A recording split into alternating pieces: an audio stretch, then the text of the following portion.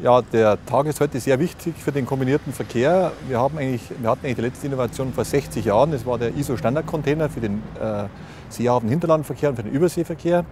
Und jetzt haben wir mit Nigrasa einen neuen Standard geschaffen. Das heißt, wir können eigentlich ganz einfach äh, nicht krambare Sattelauflieger von der Straße auf die Schiene verlagern. Das geht dadurch, dass wir keine Änderung am Waggon vornehmen, keine Änderung am Sattelauflieger, die Geschäftsprozesse für Fahrer und alle Beteiligten so lassen und das auch noch in der bestehenden Infrastruktur funktioniert.